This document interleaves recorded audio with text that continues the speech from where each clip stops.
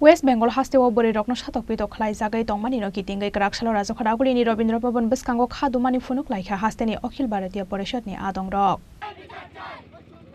লোককালি মা বোনেদের কান্না করে নির্যাতিতা বলছি আমি আমাদের বিচার বিচার চাই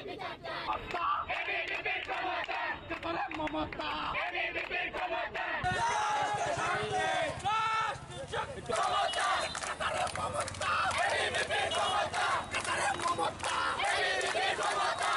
আশালা ওয়েস্ট বেঙ্গল হাস্তেনি মন্ত্রী অগ্রাম Mamata Banerjee ni jekapni mangthong swnambai soklaikha hasteni Akhil Bharatiya Parishad ni adong adong juksong সবাই অবগত আছি যে পশ্চিমবঙ্গে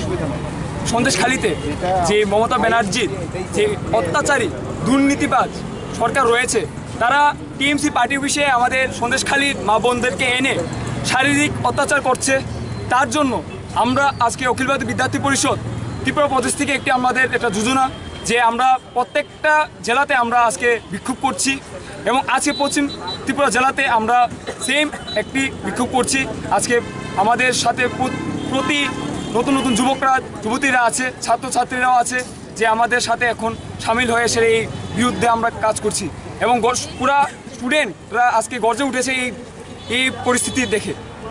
আপনার পরিচয়টা? আমার পরিচয় Sayan Dutta ABP West Tripura district coordinator রাজখরা ni simi pranapni kokthum chini khorang